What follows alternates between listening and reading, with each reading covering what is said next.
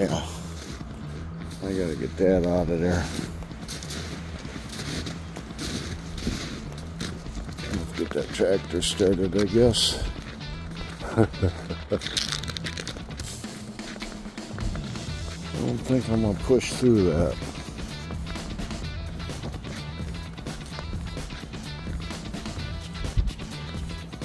And brakes when you froze up and everything. Should be fun. Gotta go to work tonight.